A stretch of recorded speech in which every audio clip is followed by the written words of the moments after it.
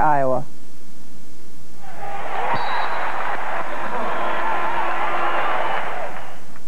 Hi, my name is Jill Yukin. I'm from Tatanka, Iowa, and I'm a senior on the Drake women's basketball team. Today I'm going to um, talk about the crossover move.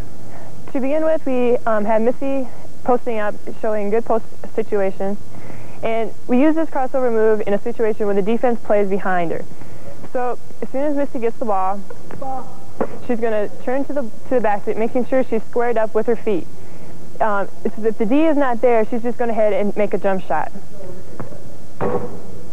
So in the situation that uh, when Misty gets the ball, she turns to the to the hoop, and Karen is there, she's going to counteract the move and do a crossover.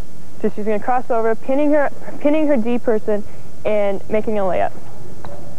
We're going to try it again in game speed. Gets the ball, fakes, pins her man, and makes the layup. And that is our crossover move.